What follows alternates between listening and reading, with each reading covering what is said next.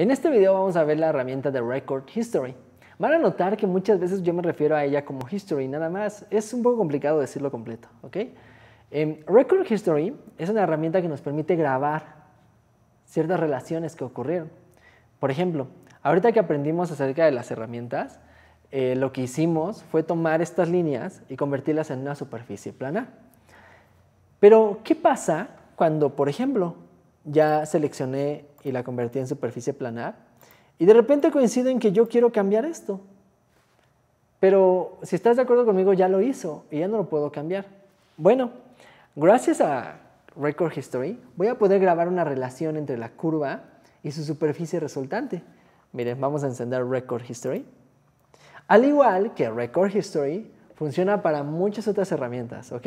Siempre que tú quieras hacer alguna relación de cambios y demás, Record History te va a acompañar para hacer eso. Vamos a irnos hacia acá, vamos a convertirla en superficie planar, clic derecho, y ahora voy a seleccionar los puntos. Y miren, si se dan cuenta se guardó una relación entre la curva original y la curva resultante. ¿Ya lo notaron?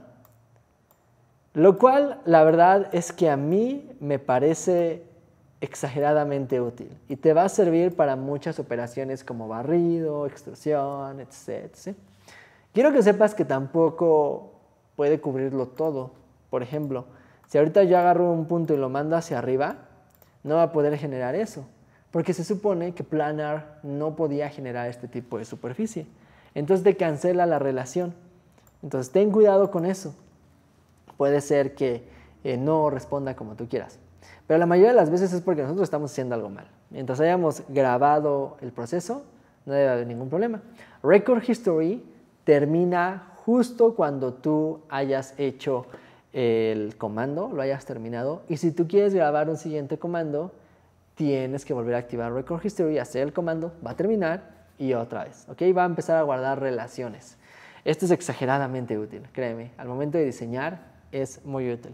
En otros programas lo conocemos como tipología del objeto, en otros programas lo conocemos como Surface Associativity, aquí se llama Record History. Eh, yo no inventé los programas, muchachos, eh, en todos lados no lo cambian, pero bueno, no se podía pedir todo, ¿verdad? Pero bien, en los siguientes videos seguiremos hablando acerca del 3D.